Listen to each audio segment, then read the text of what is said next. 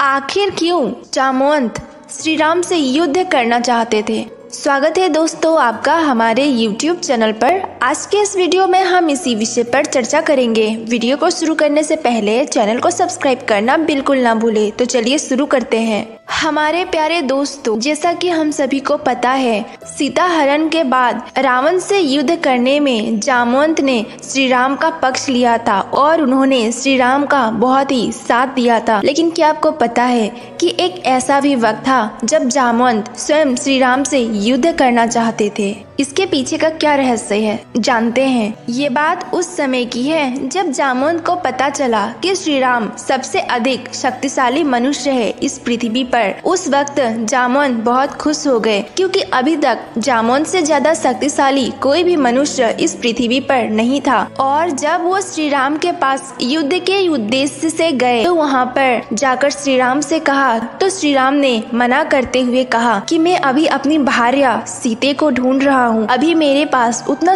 समय नहीं कि मैं युद्ध करूँ। लेकिन हाँ मैं आपको ये वचन देता हूँ। जब मैं कृष्ण रूप में अवतरित होऊँगा, उस समय मैं आपकी ये इच्छा पूर्ण करूँगा और इसके फलस्वरूप हमको जामवंत और श्री कृष्ण का युद्ध देखने को मिलता है और उसके बाद जामवंती का विवाह श्री कृष्ण से होता है। दोस्तों, रामायण से जुड़े ऐसे ही सुंदर कथा और लीलाओं को जानने के लिए चैनल को सब्सक्राइब करें, वीडियो को लाइक करें और कमेंट करके ज़रूर बताएँ आपको कैसा लगा। मिलते हैं अगले वीडियो में।